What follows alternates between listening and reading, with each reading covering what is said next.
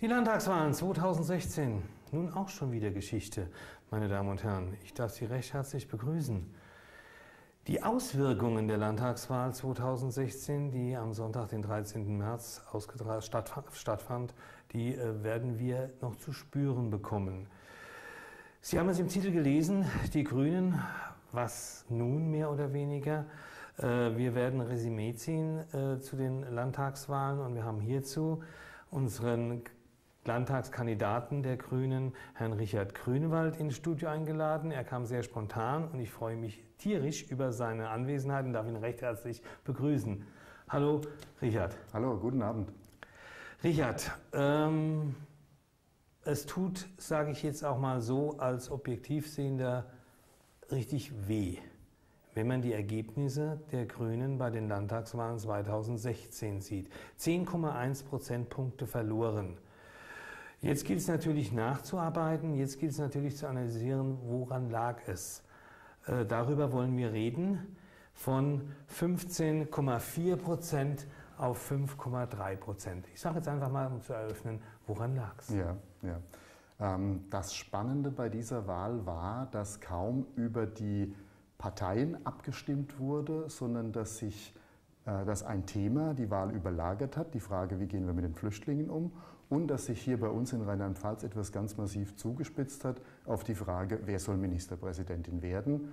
Und das hat dazu geführt, dass sehr viele Menschen, die Grün wählen, die grüne Arbeit positiv bewerten, eine andere Partei gewählt haben. Also letztendlich war es im Prinzip der äh, einzige Landtagswahlkampf, wo eine solch extreme Personenwahl äh, war, meines Erachtens. Und äh, wie du schon eben sagtest, die Grünen wollten Malu Dreyer behalten äh, als Ministerpräsidentin, weil es eine gute Koalition war. Das war sicherlich ähm, eine gute Arbeit, die die rot-grüne Koalition geleistet hat. Ähm, es ist fast eine Gesetzmäßigkeit, dass in Koalitionen ähm, der Nutzen oder das Ansehen hinterher eher beim größeren Koalitionspartner liegt und der kleinere Koalitionspartner, salopp gesagt, eher federn lässt, ja. die Verdienste weniger stark in den Vordergrund treten. Die Grünen hatten mit Evelyn Lemke eine sehr gute Wirtschaftsministerin und ich hoffe, dass sie auch in einer neuen Regierung eine entsprechende Aufgabe wird übernehmen können. Ähm, die Umweltministerin Ulrike Höfgen hat ähm, neue, tolle Projekte auf den Weg gebracht. Wenn wir an den Nationalpark Hunsrück denken, in anderen Bundesländern sind Nationalparks absolute Erfolgsmodelle, die mhm. ähm, auch sehr viel bringen für die Bevölkerung, die den Tourismus befördern. Aber das sind Dinge, die brauchen einfach länger. Das kann man nicht noch schon nach einem Jahr sehen, den Effekt, sondern das dauert länger. Da braucht man mindestens eine Legislaturperiode. Da braucht man drei bis fünf Jahre, bis sich das also sichtbar auch einstellt. Und das dritte Ministerium, das die Grünen verantwortet hatten, war Integration, Familie mit der Ministerin Irene Alt, die wir auch hier in Worms hatten zur Diskussion. Ähm, das ist in drei Bereichen ähm, eine solide Arbeit gemacht worden. Gut, wenn äh, keine große Koalition entstehen wird in Rheinland-Pfalz, äh, wovon keiner ausgeht, äh, denke ich mal, aber die Möglichkeit besteht ja, ähm, wie beim Bund, eine große Koalition, Rot-Schwarz, wären diese Ämter wahrscheinlich aber nicht der, im vollen Umfang von den Grünen noch zu besetzen, oder? Ja, also eine große Koalition ist nie etwas, was man sich wünscht. Ähm, eine große Koalition führt immer eher dazu, dass es Stillstand gibt, dass man sich ähm, ja, versucht, gegenseitig in Schach zu halten, dass man sich auf den kleinsten gemeinsamen Nenner einigt. Von daher glaube ich, dass für Rheinland-Pfalz eine große Koalition keine gute Sache wäre, nichts, was unser Land wirklich nach vorne bringen würde. Und es spiegelt auch nicht besonders gut den Wählerwillen wider, denn der hat sich relativ deutlich geäußert bei der Frage, wer soll Ministerpräsidentin werden. Bei der Frage, wer soll Ministerpräsidentin werden, aber nicht bei der Frage, welche Koalition bestehen bleiben soll, denn ja. sonst wäre ja Rot-Grün nach wie vor gewählt worden. Ja, ja. Ähm, wir hätten da äh, ein, zwei Grafiken, vielleicht können ja. wir äh, in die mal reinschauen. Ähm, Lass mal tiefer gehen. Gerne. Hm? Gut, da haben wir die erste. Ja, ähm, das war einfach äh, dieser beachtliche äh, Effekt, dass eine ganz, ganz große Zahl von Menschen, die eigentlich grün wählen, die grüne Politik gut finden, nicht grün gewählt haben, sondern die SPD gewählt haben. 90.000 Menschen in Rheinland-Pfalz. Ähm, andere Bewegungen, es gibt immer Wanderungen von einer Partei zur anderen. Das ist äh, sozusagen im üblichen Rahmen. Aber dass 90.000 grüne Stammwähler sozusagen ähm, der SPD die erste Stimme gegeben haben, ähm, die zweite Stimme gegeben haben, das ist Malu, Jahre. verblüffend. Ja. ja, ja. Äh, eine Frage, ich sehe gerade die 21.000, die abgewandert sind von den Grünen zur CDU. Äh, denkst du, diese 21.000 sind abgewandert wegen der äh, Merkel-Politik, wegen der Asylantenpolitik? Äh, nein, ganz sicher nicht, das kann man ausschließen. Ähm, es gibt auch Untersuchungen jetzt von der Forschungsgruppe Wahlen oder von Infratest DIMAP, die zeigen, die Zufriedenheit mit der Flüchtlingspolitik und die Zufriedenheit mit unserer Regierungsform ist nirgendwo höher als im grünen Lager. Dicht gefolgt von der SPD, dann von anderen Parteien. Aber Grüne sind mit der Arbeit, die geleistet wurde in unserem Land, insgesamt am zufriedensten, besonders beim Thema Flüchtlinge. Ich deute das so, dass sehr viele Menschen, die Grün wählen, auch nah dran sind an Flüchtlingen, sich ja. engagieren in Initiativen, persönlich Flüchtlinge kennen oder betreuen. Und wer mit Menschen, fremden Menschen Kontakt hat, der hat auch keine Angst mehr vor ihnen. Das löst sich einfach im Kontakt auf. Und darum ähm, haben grüne Wähler Merkel unterstützt. Wir sehen das im Nachbarland Baden-Württemberg ganz massiv. Ganz extrem massiv, ja. ja. Also das ist, äh, es gibt keine Anti-Merkel-Wähler bei Grünen, ganz im Gegenteil. Mhm. Äh, du sprachst gerade vom Nachbarland Baden-Württemberg. Äh, da haben die Grünen zugelegt, genauso wie die SPD in Rheinland-Pfalz zugelegt hat, wahrscheinlich aus den genannten Gründen, dass sie Unterstützung erfahren hat, die Frau Dreier, durch die Grünen. Ähm, was ist der Erfolgsweg der Grünen in Baden-Württemberg gegenüber dem Weg der Grünen in Rheinland-Pfalz? Ja, in Baden-Württemberg ist ganz klar, wer Grün verkörpert. Das ist Ministerpräsident Kretschmann, der das ähm, auf eine hervorragende Art und Weise macht, sehr ruhig, mhm. ähm, sehr, äh, sehr umgänglich, ähm, überhaupt nicht sprunghaft, berechenbar und er verkörpert auch die Person des Landesvaters ähm, hervorragend. Wir sind in einer Situation in unserer Zeit, in der viele Menschen Angst haben, in der sie glauben, es gäbe Bedrohungen von außen. Das ist so subjektiv überzogen. Aber wir haben natürlich eine Welt, in der sich vieles ändert. Und in dieser Zeit möchten die meisten Menschen einfach Verlässlichkeit. Die möchten jemanden haben, dem sie vertrauen. Und das strahlt er genau, der das Kind aus, schon schaukeln wird.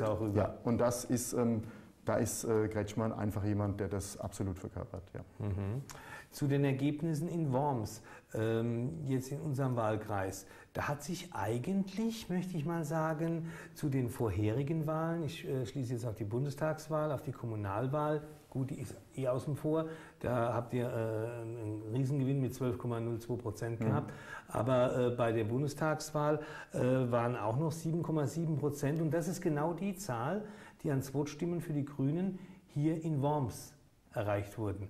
Das ist doch auch auf die gute Arbeit der Grünen in Worms zurückzuführen. Ähm, das ist wirklich bemerkenswert, dass, dass ähm, die Erststimmen, also die Personenstimmen für den Kandidaten, ähm, für meine Person, nicht nur Stimmen sind, so erlebe ich das, für die Arbeit, die ich persönlich mache, sondern ganz klar Stimmen für die ganze Truppe, also für die Grünen mhm. insgesamt mhm. in Worms. Und ich habe den Eindruck, die Wähler haben unterschieden die Erststimme hat im Grunde bewertet, wie gut ist die Arbeit, die grüne Arbeit in Worms. Das ist sozusagen die Worms-Stimme, die erste Stimme. Und die zweite Stimme war quasi die Ministerpräsidentinnen-Stimme. Und deshalb liegen die Ergebnisse auch so stark auseinander. Wir haben grob 40 Prozent mehr Stimmen ähm, bei der Erststimme, also für die Arbeit hier in Worms. Und das ist äh, auch schon ein sehr schönes Gefühl. Du hast eine schöne Statistik hinsichtlich der Altersgruppen, wie gewählt wurde. Ja. Wenn wir da vielleicht mal drauf eingehen können. Ja, das ist interessant. Die Frage ist, wer wählt welche Partei? Und ähm, ich habe mich nicht nur befasst, was kann man bei Grünen sehen, sondern wie sieht es insgesamt aus, welche Altersgruppe. Und äh, die Grünwähler sind überwiegend junge Menschen. Haben wir das zum Einblenden? Ähm, ich denke, das haben ja. wir auch dabei. Jawohl, wunderbar. Wir sehen ähm, Menschen im Alter 18 bis 24 Jahre, also die gerade volljährig sind, ähm, die haben die höchste Zustimmung äh, zu Grünen. Gut, das war ja schon immer euer Klientel. Ähm, man hat manchmal den Eindruck oder man sagt auch gerne mal, die Grünen wären alle mittlerweile alt geworden oder hätten gar schon graue Haare. Ich gehöre ja auch schon ein Stück dazu. Ähm, aber das stimmt nicht. Man sieht einfach, ähm, die Politik, die wir machen, Nachhaltigkeit, also wie geht es in Zukunft weiter, nicht nur morgen, sondern auch übermorgen, das ist ein Thema, das viele junge Menschen bewegt. Mhm. Und in der Altersgruppe 20 Jahre ähm, bis 25 Jahre ähm, ist einfach völlig klar, dass man auf die Umwelt Rücksicht nehmen muss. Das muss man da gar nicht mehr groß diskutieren. Und da gibt es die größte Zustimmung zu Grünen. Aber wenn man bedenkt, äh, je älter die äh, Wähler werden, umso weniger wählen sie die Grünen, obwohl das doch im Prinzip die ursprüngliche Basis darstellt. Wenn ich hier sehe, äh, von 60 bis 69, die Grünen sind 30 Jahre alt, oder nehmen wir mal von 45 bis oder 49 bis 59 6 Prozent, das sind doch die, die zum Gründungszeitpunkt der Grünen in dem Alter waren, 18 bis 24 bis maximal 30, haben die äh, die Überzeugung der Grünen verloren oder warum sind da so große Abgänge? Ähm, wenn die Menschen älter werden, scheinen sich Schwerpunkte zu ändern. Mhm. Ähm, und jemand, also keine das heißt Startbahn ja, West mehr, kein möglich, möglich genau. Es sind, es sind ja auch heute nicht mehr diese ganz großen Konfrontationen. Also wir haben nicht mehr, wir sind keine Dagegen-Partei mehr, wir sind eine Dafür-Partei geworden. Darüber bin ich sehr froh. Mhm. Es geht nicht mehr zu sagen, wir sind gegen dies oder das, sondern wie gestalten wir Zukunft? Ähm, da gibt es noch die großen Themen Energiewende, da gibt es, dass wir die Kohlekraftwerke abschalten müssen. Aber es ist alles nicht mehr so ganz einfach. Nur mit Demonstrieren ist es leider nicht getan. Es sind ja auch viele Ziele der Grünen erreicht worden. Vieles ist Gemeingut geworden. Oder ähm, Gemeingut, ja, ja, wo sich jetzt jeder darum kümmert, weil er weiß. Soweit so weit sind wir leider noch nicht. Jeder sagt es mittlerweile, mhm. aber es hat noch nicht jeder wirklich auch verinnerlicht. Ähm, denen zu sagen, ich bin dafür, dass wir für die nächsten Generationen die Umwelt erhalten, das ist ja billig. Das kann man ja, leicht sagen. Ja. Viel ist sein Wunsch. Genau. Wenn es dann aber heißt, ich kaufe eben kein SUV, sondern ich kaufe ein E-Bike, dann wird es schon spannender. Und da muss man im Kopf sich ein bisschen bewegen. Und da komme ich nochmal auf äh, junge Menschen zurück. Für die sind solche Statussymbole wie ein großes Auto das Pillepalle. Das interessiert einfach nicht mehr. Da kommt es auf ein Handy an, da kommt es auf eine Internetverbindung ja. an. Aber diese klassischen Dinge, so Spritschlucker, da muss man niemanden von abbringen in dieser Altersgruppe. Das ist einfach das ist logisch, ist normal. Ja. ja. ja. Mhm. Vielleicht noch eine Ergänzung. Ja. Ähm, wo waren die stärksten Wähler altersmäßig bei der CDU oder bei der SPD? Mhm. Das haben wir leider nicht als Grafik. Ich habe es nur im Papier, lese es aber gerne vor. Die stärkste Altersgruppe bei den Sozialdemokraten ist die Altersgruppe 60 bis 69 Jahre. Mhm. Also das sind ähm, schon etwas oder ja, um das Rentenalter. Die stärkste Altersgruppe bei der CDU sind 70 Jahre und älter könnte jetzt mal ganz fies sein, stirbt die CDU langsam aber sicher aus? Ich würde mir Gedanken machen, wenn ich bei der CDU wäre. Gut, SPD war nicht so schlimm, äh, ja. CDU war schlimmer, ja. wobei ich äh, vielleicht sogar gedacht hätte, das ist vielleicht gleichgelagert oder bei der SPD noch eher, weil der SPD hat ja eine lange, lange, lange Vergangenheit und eine äh, große Geschichte, das müssen mhm. wir sagen. Mhm. Ähm, nur dass bei der CDU diese Wähler so sind, diese Wählerschichten, das verwundert mich etwas. Und du hast ja, es spiegelt auch etwas, unsere Gesellschaft wird da. Unsere Gesellschaft wird immer älter. Die größte Gruppe an Menschen, die einfach da ist im Moment, sind Frauen über 65. Das ist von der Alterspyramide her äh, die meisten, wenn man die ganzen Alterskohorten, die Altersgruppen nebeneinander stellt, mhm. sind Frauen über 65. Das ist ein demoskopisches Problem. Ja. ja. Äh, jetzt noch mal einen Blick voran. Was ähm, hat die Grüne Partei in absehbarer, in kurzfristiger und in langfristiger Zeit vor, um diese Wahlergebnisse wieder auf einen gerechten Stand zu bringen, sage ich jetzt einmal. Ja. Ähm, ich glaube, das hat viel damit zu tun, wie die Arbeit vor Ort ausfällt. Ähm, bei dieser Wahl wurde weniger über die Stadt entschieden, immer noch nicht so ganz übers Land, sondern es war ein Bundesthema, Flüchtlinge. Das ist eigentlich schon fast ein Europathema. Also die ganz große Politik hat die Landtagswahl bestimmt bei mhm. uns. Ähm, ich glaube, dass in Zukunft dann auch wieder lokale Themen wichtig werden. Die Arbeit, die wir als Grüne hier vor Ort machen, da wird es spannende Diskussionen geben. Brauchen wir eine Krankenhaustangente, die nach unserer Einschätzung noch mehr Verkehr zu uns bringt? Können wir es uns erlauben, dass wir zum Beispiel 30 Millionen in Parkhäuser in Beton versenken, während wir kein Geld haben, um Kindergärten zu bauen. Also da wird es noch ganz interessante Fragen mhm. geben und mhm. da vertreten wir eine klare Position. Und da seid ihr dran im Stadtrat? Ja. Hoher Stein ist gewonnen? Das ist ja. Ähm, weiteres ganz wichtiges Thema ist die Frage nach Transparenz. Ja. Ähm, wir stehen immer oder es wird versucht, in einem Ausschuss unter Ausschluss der Öffentlichkeit Entscheidungen zu treffen, zum Beispiel über sozialen Wohnungsbau in der Zukunft oder über Bebauung Karl-Filinger Straße. Ähm, es ist ein absolutes Unding, dass man so etwas hinter verschlossenen Türen verhandelt. Wir haben erreicht, dass es bei dem konkreten Fall eine Vorberatung im Ausschuss gibt, aber eine öffentliche Entscheidung, öffentliche Beratung dann im Stadtrat. Und ähm, das Schlimme ist, dass man das noch erkämpfen muss. Das mhm. müsste mittlerweile mhm. selbstverständlich mhm. sein. Äh, aus, welchen Gründen, äh, aus welchen Gründen wird das so gehandhabt? Was denkst du? Ähm, es gibt die Angst, dass in der öffentlichen Diskussion Fensterreden gehalten werden, dass man nicht in der Sache diskutiert, sondern nur versucht, sich positiv darzustellen. Ich glaube, das ist äh, übertrieben und unbegründet, diese Angst, weil man kann gar nicht auf Dauer nur schwafeln, sondern man muss ja auch mal zur Sache kommen oder es wird einfach klar, dass jemand nur schwadroniert und, und nicht zum Thema spricht. Ähm, da muss man dann einfach auch mit Fragen nachhaken oder als äh, Diskussionsleitung oder im Wettbewerb der Parteien sagen, liebe Kollegen, bitte zur Sache. Ja. Ähm, oder die Menschen müssen es einfach äh, bewerten, indem sie an der Diskussion teilnehmen können und anschließend zum Beispiel einen Leserbrief schreiben und sagen, Kandidat sowieso hat ja eigentlich nichts zur Sache gesagt. Steht ja vielleicht nicht sogar die Angst, dass ähm, jetzt das ausufert innerhalb der Sitzung, dass äh, anwesende Gäste, anwesende Bürger äh, praktisch zu stark reinrufen oder das ist ja nicht zulässig und das ist auch richtig. Also die mhm. Ausschüsse oder der Stadtrat ist gewählt, um zu entscheiden. Ja. Es könnte schon sein, dass eine Sitzung länger dauert oder dass es auch mal etwas höher hergeht. Aber ich glaube, das wär, würde uns sehr gut tun. Ähm, eine engagierte Diskussion ist auf jeden Fall gut. Und warum soll man auch nicht mal drei Stunden über ein Thema diskutieren? Ähm, das uns noch viele Jahrzehnte beschäftigen wird. Das ja. wäre die Zeit wert. Wenn es drei Stunden diskutiert wird, dann wird es dementsprechend auch wichtig sein, dass man aus den verschiedenen Meinungen auf einen Nenner kommt und eine Entscheidung im Sinne der Bürger trifft. Nochmal auf die Landtagswahl zurückzukommen. Wie groß siehst du die Chancen für die Koalition zwischen Grünen, FDP und SPD? Ähm, das scheint eine mögliche, wenn nicht gar die wahrscheinliche Variante zu sein. Ich sagte schon, eine große äh, Koalition ist selten besonders gut. Ähm, ich sehe durchaus Möglichkeiten, wie die drei Parteien sich zusammenraufen. Gut daran wäre aus meiner persönlichen Sicht, die Wähler haben sich ganz klar für Malu Dreyer entschieden. Mhm. Malu Dreyer hatte eine Zustimmung von 54 Prozent, also mehr als die Hälfte. Die Zustimmung für Julia Klöckner lag nur bei einem Drittel, bei 34 Prozent. Das sollte man auch respektieren in der Regierungsbildung. Äh, in einer Ampelkoalition ist klar, wer Ministerpräsidentin wird. Und die anderen Parteien, FDP und Grüne, können jeweils ihren Beitrag einbringen.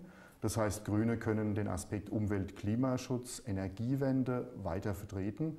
Und warum soll nicht auch die FDP, wenn sie gute Leute hat, eine vernünftige Position einbringen? Ähm, das kann uns doch nur bereichern. Jetzt werden wir mal intim, meine Damen und Herren. Der Richard Grünewald hat zusammen mit der Julia Klöckner studiert hat er mir vorhin gesagt. Ja, es liegt schon etwas zurück. Liegt schon etwas zurück. Wir haben beide Theologie studiert, ja. Beide Theologie mhm. studiert. Und äh, wie ähm, äh, hast du sie damals kennengelernt? Also nicht kennengelernt so, hallo, ich bin der Richard und du bist Julia, sondern wie ja. hat sie sich damals ja. gegeben, wie hat sie sich zu heute verändert? Mhm. Wir saßen im, im gleichen Seminar und haben dann Referate und Arbeiten gehalten. Ähm, Julia Klöckner ist eine sehr sympathische und gewinnende Person gewesen und ich glaube, das ist sie auch noch heute. Sie ist sehr kontaktstark.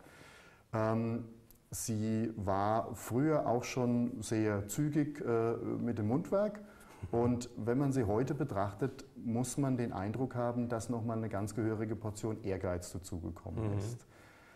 Und ähm, wenn ich einen anderen Journalisten äh, zitieren darf, der sagt, manchmal spricht sie schneller, als sie oder andere denken können. Und das war offensichtlich nicht das, was Menschen sich für eine Ministerpräsidentin mit einer ruhigen Hand, einer Zuverlässigkeit ja. gewünscht haben. Ja. Dieses etwas Vorlaute, dieses auf den Putz hauen, ähm, das scheint sich verstärkt zu haben. Ähm, wie gesagt, dieses Spontane, das habe ich immer schon kennengelernt. Und äh, wie gesagt, ist es auch jemand, mit dem man eigentlich gut auskommen kann. Aber ich glaube, sie müsste einfach ein bisschen mehr nachdenken, bevor sie sich äußert. Ja, war es vielleicht auch der Grund, was ich mit dem Herrn Baldauf gesprochen habe, der ja vertretungsweise für die Frau Klöckner hier bei uns im Studio war, ähm, dass vielleicht dann ein Jahr später, wenn äh, die liebe Frau Merkel nicht den Fehler machen will, den der Helmut Kohl gemacht hat, denn zu lange im Amt zu sitzen, das kann ein Fehler sein, die Menschen wollen was Neues, äh, dass sie als äh, Kronprinzessin in, äh, als Kanzlerkandidatin dann äh, praktisch, wenn sie die Wahl gewonnen hätte, nach Berlin gegangen wäre und praktisch dann nur ein Jahr Ministerpräsidentin gewesen wäre? Das kann ich nicht beurteilen. Ich bin auf jeden Fall froh, dass uns das erspart bleibt. Okay, alles klar. Das wollen wir als Schlusswort nehmen. Wenn es äh, von deiner Seite aus her ausführlich behandelt wurde, wir sind auf die Wormser Grünen. Hatten wir was übersprungen oder wolltest du noch irgendwas? Nein, ich denke, es war einfach ähm, dieser Punkt, dass es ganz klar eine Ministerpräsidentinnenwahl war und dass das einfach auch ein wesentlicher Grund war, weshalb die Wahl so ausgegangen ist, ja, wie sie ausgegangen Auf Kosten ist. der Grünen. Ja. Letztendlich. Ja. Mhm. Gut, Richard, ich darf mich nochmals für dein spontanes Kommen bedanken. Sehr gerne. Und ich hoffe und ich denke, dass es für die Zuschauer auch sehr interessant war. Und vielleicht laden wir auch manchmal äh, das nächste Mal die anderen äh, Wormser Landtagskandidaten ein, um äh, zu sprechen, was denn eigentlich Sache war. Für Sie, meine Damen und Herren. Ich wünsche Ihnen noch viel Spaß bei, beim weiteren Programm des offenen Kanals und dir nochmals herzlichen Dank. Gerne.